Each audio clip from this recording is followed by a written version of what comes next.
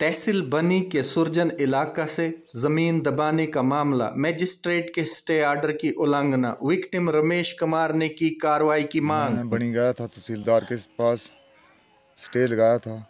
वो हम्म, नहीं मान रहा है। उधर लिख के दिया है उसने कि इसकी मैंने एक फुट जगह भी नहीं दबाई है।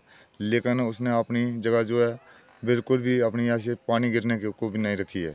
वो बोलता है कि मैंने दिन दिहाड़ी काम लगा रहा है। कि मैं किसी को भी नहीं जानता हूँ। ठीक है, मैं काम नहीं रोकूँगा। वहाँ पे चौकीदार भी गया था तो उसको भी यही बोला है। मैं इसलिए रिक्वेस्ट करता हूँ कि मैं गरीब आदमी हूँ, जगह ज़मीन जो है उसने ज़बरदस्ती दबा ली है।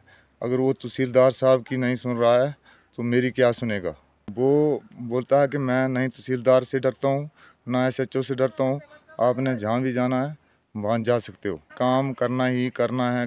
बोलता है कि मैं तेरे को मार डालूँगा तो तेरे ऊपर कौन सा पूछना? मैंने पचास हज़ार रुपये खर्चा और पचास हज़ार रुपये मैं और खर्चूँगा। जो तहसीलदार की नहीं मान रहा है, वो हमारी क्या सुनाई होगी फिर? ना एस एच ओ के पास भी गया था।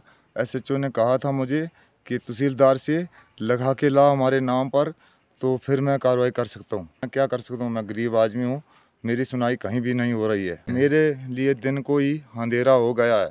मैं आपसे तहसीलदार को रिक्वेस्ट करता हूँ कि मेरी जो कार्रवाई है, अगर आपकी नहीं सुनता है तो एस एच ओ को डायरेक्शन करके इसका पर्चा लगाया जाए उसके। तहसीलदार से मैं एक रिक्वेस्ट करता हूँ कि आपके कानून का उल्लंघन कर रहा है, आपका छोटा सा मुलाजिम चौकीदार गया था, उसको भी यही बयान दिए हैं उसने। इस रिक्वेस्ट है, इसको जल्दी से जल्दी पहुँचाएँ। हमारी तो बेजती होगी, लेकिन आपकी भी बेजती है कि दिन दिहाड़े काम लगा रहा है, मेरे लिए तो दिन को ही अंधेरा है। मेरी जगह ज़मीन शरेआम दवाली है, इसीलिए मैं साहब के पास रिक्वेस्ट करता हूँ। काम बंद कराएँ।